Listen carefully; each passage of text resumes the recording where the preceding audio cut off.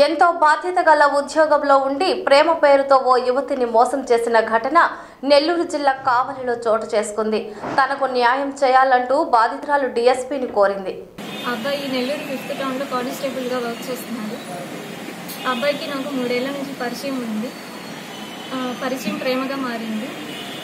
పలుమార్లు అబ్బాయి నన్ను శారీరకంగా వాడుకొని నాకు ప్రెగ్నెన్సీ రావడానికి కూడా కారణమైంది ప్రెగ్నెన్సీ రావడానికి కూడా కారణమయ్యాడు. అండ్ అలాగే రెండుసార్లు అబోషన్ చేపి అబోషన్ చేపించాడు టాబ్లెట్స్ వేసి. సో నేను అడిగితే వాళ్ళ మరదలతో పెళ్ళి అంటే మొదటి మొదటి మొదట్లోనే చెప్పాడు నాకు. తను వాళ్ళ వాళ్ళ మరదలతో పెళ్ళి చేయాలనుకుంటున్నారని. నేను అడిగితే అమ్మాయి అంటే ఇష్టం లేదు నాకు నచ్చిన అమ్మాయితో ఉండాలనుకుంటున్నాను అని చెప్పి చెప్పాడు. ఈ నెల ఇరవై ఆరో తేదీ అబ్బాయి పెళ్ళి జరుగుతుంది. ఈ నెల ఇరవై ఆరో తేదీ. యాక్చువల్లీ ఈరోజు రోజు నన్ను ఆ అమ్మాయి కంటే ముందు నన్ను పెళ్ళి చేసుకుంటానని చెప్పి చెప్పాడు ఈ రోజు హైదరాబాద్లో. నిన్న సడన్గా అబ్బాయి పెళ్ళి ఆఫ్ చేసేసాను.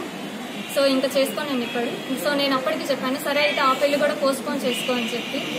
లేదంటే నేను ఏమైనా యాక్షన్ తీసుకుంటాను అంటే నీ ఇష్టం వచ్చింది చేస్తూ నువ్వు చచ్చిపోయినా పర్వాలేదు అని చెప్పి చెప్పాడు. ఆ రికార్డింగ్ కూడా నా దగ్గర ఉంది.